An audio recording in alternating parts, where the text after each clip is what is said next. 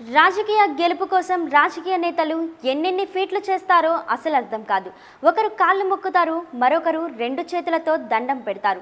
కొందరు ప్రలోభ పెడతారు ఇంకొందరు మభ్య పెడతారు. చివరికి అంతా దైవంపై భారం పెడతారు. ఇదంతా పోలింగ్ జరిగే ఆ రాత్రి వరకే. ఆ తరువాత ఓ నవ్వు ఓ దండం అవకాశం ఉంటే ఓ సైగా. మొత్తానికి ఓటర్ మనసును ఎలాగోలా గెలుచుకోవాలని అనుకుంటారు. ఇదంతా ఓ ఎత్తైతే ఇంకొందరు ఛత్తీస్గఢ్లోని బీజేపీ నుంచి బరిలో దిగిన అభ్యర్థి ఒకరు వినూత్న ప్రయత్నాన్ని చేశారు. ఆయన చేసిన ప్రయత్నం ఆ పోలింగ్ కేంద్రంలో ఉన్న ప్రతి ఓటరును ఆకర్షించింది. అంతేకాదు ఆ రాష్ట్రంతో పాటు మిగతా రాష్ట్రాల ప్రజలందరినీ ఆకర్షింపచేసింది. ఇంతకీ ఆయన ఏం చేశాడో తెలిస్తే మీరు సైతం నోరెళ్ళబెడతారు. ఛత్తీస్గఢ్ రాష్ట్రంలోని నవగఢ్ నియోజకవర్గంలో ఎమ్మెల్యే అభ్యర్థిగా ఉన్న దయాల్ దాస్ గతంలో మంత్రిగా పనిచేశారు. తిరిగి ఈసారి ఎన్నికల బరిలో పోటీకి దిగారు ప్రచారం చేశారు. అంతా అయిపోయింది.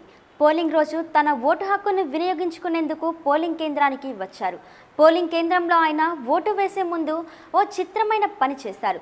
తన చేతుల్లో తెచ్చుకున్న కొబ్బరికాయను ఈవీఎం ముందు పగలగొట్టారు. అగర్బత్తులు గెలిగించి ఈవీఎంకు హారతి పట్టారు. ఆ తరువాత దండం పెట్టి తన ఓటును వినియోగించుకున్నారు. ఇదంతా చూస్తున్న అక్కడి ఏజెంట్లకు తొలి దశలో ఏం జరుగుతుందో అర్థం కాలేదు. ఆ తరువాత అర్థమై ముక్కు మీద వేలేసుకున్నారు. అక్కడ జరిగిన ఉదంతం ద్రావణంలా పాకింది. పోలింగ్ కేంద్రంలో ఉన్న లైన్లో చివరిగా నిలిచిన వ్యక్తి సైతం దాన్ని గురించే చర్చించుకున్నారట. అదే రాజకీయాల కోసం ఎన్ని వేషాలు వేయాలో ఎన్ని డ్రామాలు ఆడాలో.